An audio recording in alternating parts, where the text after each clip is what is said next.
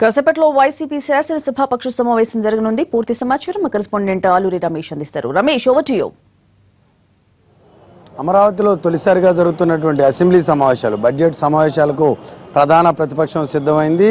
YS Jaganmohan Reddy కొద్దిసేపటి క్రితమే విజయవాడ చేరుకున్నారు. ఆయన కేటాయించినటువంటి ఆర్ఎండి గెస్ట్ హౌస్కి జగన్ వచ్చారు. జగన్కు విజయవాడలో అదేవిధంగా గన్నవరం ఎయిర్పోర్ట్లో పార్టీ నేతలు ఎమ్మెల్యేలంతా కూడా ఘన స్వాగతం పలికారు. తొలిసారి జగన్ ఇదివరకు జిల్లా పర్యటనకు వచ్చినప్పటికీ కూడా ఫస్ట్ టైం ఆయన ఒక నెల రోజుల పాటు విజయవాడలో కేంద్రంగా పనిచేయబోతున్నారు. ఇక్కడ దాదాపు ఇరవై ఐదు రోజులు ఇక్కడ నుండి ఆయన కార్యకలాపాలన్నీ నిర్వహించబోతున్నారు. మరికొద్ది సేపట్లో పార్టీ ఎల్పీ సమావేశం ప్రారంభం కాబోతుంది.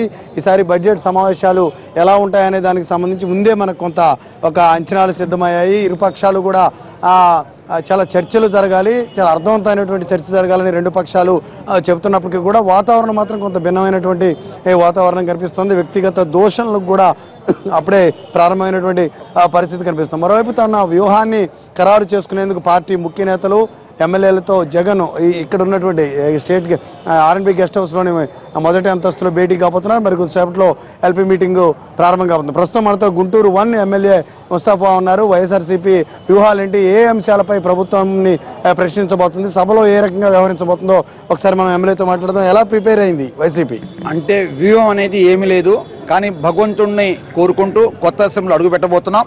మాకు ఎంపీనీలు గెలిచాం కాబట్టి మరి మాకు మా నేత జగన్మోహన్ రెడ్డి గారికి మాట్లాడతానే అవకాశం ఇవ్వాలని చెప్పేసి ప్రజలకి మరి ఎన్నో నియోజక ఎన్నో ఆశలు పెట్టుకున్నారు కాబట్టి మా ఆశలు అడియాసలు చేయకుండా మమ్మల్ని మాట్లాడి మరి మా బాధలు విని మరి చక్కగా వాళ్ళు పనులు చేయాలని చెప్పేసి మేము కోరుకున్నాం కానీ ప్రతిపక్షంలో అలాగే హైదరాబాద్లో ఏ విధంగా వాళ్ళు గొంతు నొక్కారో ఆ విధంగా నొక్కకుండా మమ్మల్ని స్వేచ్ఛగా మాట్లాడటానికి మా బాధలు వినాలని చెప్పేసి కోరుతున్నాం అనమాట అంటే మీరు మీ బాధలు అంటే ఏంటి? ఏం చెప్పాలనుకుంటున్నారు? అంటే ప్రతిపక్ష నేతకు చెందినటువంటి అంశాలే ప్రజా అంశాలుగా జగన్ భావిస్తున్నారు అనేది అధికార పార్టీ చేస్తున్న విమర్శ. ఏం చెప్పాలనుకుంటున్నారు ఈ సభలో? ప్రజా సమస్యల గురించే తప్ప మా ఇదనేది ఏమీ లేదు. ప్రజా సమస్యలు ఎన్నో ప్రజా సమస్యలు ఉన్నాయి.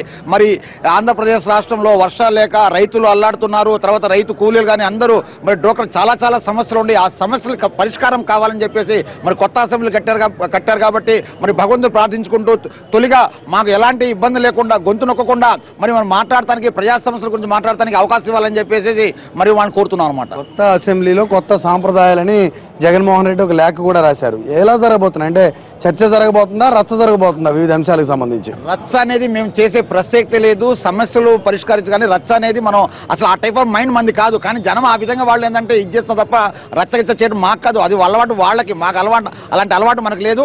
మనకు ప్రజా సమస్యల గురించి వివరంగా పుష్కలంగా మమ్మల్ని తృప్తిగా పరిచేలా ఆ విధంగా వాళ్ళు ఎందుకంటే గతం చంద్రబాబు నాయుడు గారికి మరి తొమ్మిది సంవత్సరాల అనుభవం ఉంది కాబట్టి మరి అనుభవాన్ని అక్కడ పణంగా పెట్టేసి మరి సమస్యలు వింట వింటారని చెప్పేసి ఇక్కడ ఎక్కడైనా మంచిగా విని మా సమస్య తీరుస్తారని చెప్పేసి ప్రజాస్వామ్యం తీరుస్తారని చెప్పేసి మేము భావిస్తున్నాం అనమాట అంటే ఒకటి సభ ఎలా జరగాలి అనేది ప్రధాన ప్రతిపక్షం చేతిలో ఉంటుంది. వారి యొక్క ఆ శైలి కానీ వాళ్ళ యొక్క బిహేవియర్కి అనుగుణంగా ఆ సభ నడుస్తుందని అధికార పక్షం చెప్తోంది ఈసారి అంటే మీ మీద డిపెండ్ అయ్యి సభ మొత్తం నడిచే పరిస్థితి ఉందని వాళ్ళు చెప్తున్నారు.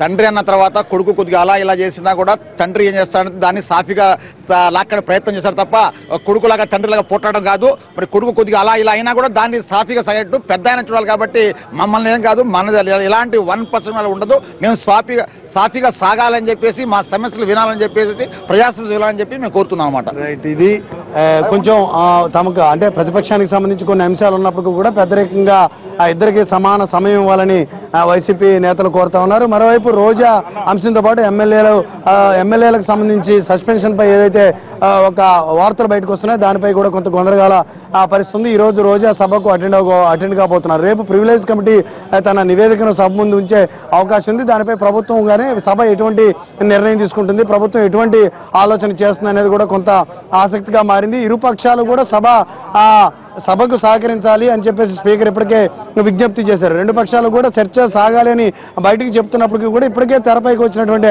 అంశాలను మనం చూసుకున్నట్లయితే ఈసారి బడ్జెట్ సమావేశాలు చాలా వాడివేడిగా జరగబోతున్నాయి కాస్త ఘాటుగా జరగబోతున్నాయని మనకి ఇక్కడ ఉన్నటువంటి పరిస్థితిని చూస్తే అర్థమవుతుంది. ఎల్పీ మీటింగ్ ఇప్పుడే ప్రారంభమైంది. వైసీపీ తన కసరత్తును తన యొక్క వ్యూహాలను సిద్ధం చేసుకుంటుంది. ఇది ఆర్ఎంపీ గెస్ట్ హౌస్ దగ్గర ఉన్నటువంటి ప్రస్తుత పరిస్థితి రోజా. Right thank uh,